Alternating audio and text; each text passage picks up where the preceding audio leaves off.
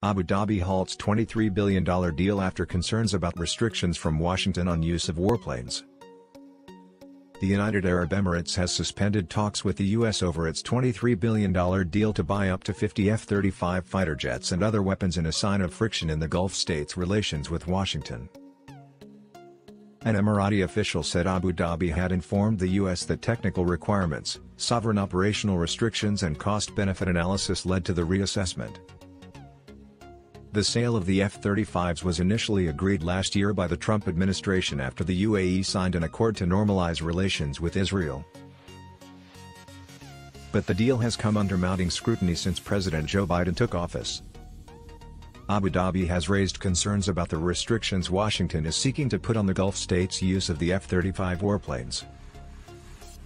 The Biden administration meanwhile has been worried that the UAE's use of Huawei's 5G technology raises the risk that sensitive information could be leaked to Beijing. Washington has been putting pressure on the UAE to reduce its exposure to the Chinese telecoms technology. General Kenneth F. McKenzie, commander of the U.S. Central Command, said this year that he was concerned about the risk of technology transfer. He added that the U.S. was working hard both internally within the United States and with our UAE partners to ensure that's resolved satisfactorily. But as the talks have dragged on, the UAE, a key U.S. ally in the Arab world, has become frustrated with the U.S. pressure, as it tries to strike a balance between its relations with Washington and China, its biggest trade partner. Emirati officials argued that there were few cost-effective alternatives to Huawei's 5G technology and were worried that they would be sucked into a new Cold War between the US and China. The decision to suspend the talks, first reported by the Wall Street Journal, comes just over a week after the UAE sealed a UR-17B plus deal with France to buy 80 Rafale jets and 12 Caracal helicopters manufactured by French groups Dassault Aviation and Airbus. Sheikh Mohammed bin Zayed Al Nahyan, Abu Dhabi's crown prince and the UAE's de facto leader, has struck up a deepening relationship with French President Emmanuel Macron, particularly on security matters.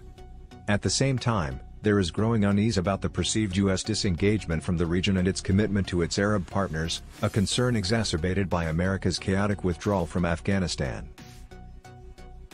A person briefed on the UAE position said Abu Dhabi was confident that the issues related to Washington's concerns over Huawei's 5G could be resolved. But the critical issue was over whether the US would put limits on how and when the UAE could use the F-35s. From the Emiratis' perspective, they want the strongest possible relations with the US, the person said. The question is, is the US ready to reciprocate and be committed? The UAE wants a strong commitment on mutual security in the region. The Emirati official said both states were working toward an understanding that would address mutual defense security conditions for the acquisition. The U.S. remains the UAE's preferred provider for advanced defense requirements and discussions for the F-35 may be reopened in the future, the official said. In a statement, the U.S. said, the Biden-Harris administration remains committed to the proposed sales of F-35 aircraft, the MQ-9B, and munitions even as we continue consultations to ensure that we have a clear, mutual understanding of Emirati obligations and actions before, during, and after delivery. We are hopeful that we can work through any outstanding issues, and we look forward to the US-UAE joint military dialogue later this week.